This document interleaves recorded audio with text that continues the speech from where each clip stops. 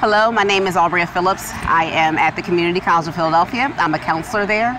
Um, my number one issue and, and, concern with my students is completion. I have a lot of students that come in, um, and for some reason we lose them. And as a counselor, I hear the stories. Um, I know some of the personal struggles and challenges that our students have, and I really want our college to do some real work um, and, and hopefully getting information from other colleges about what we can do to better serve our, our, our students, the minority population, the under the um, low income, as well as our veteran population. We have a big issue with retention of those students.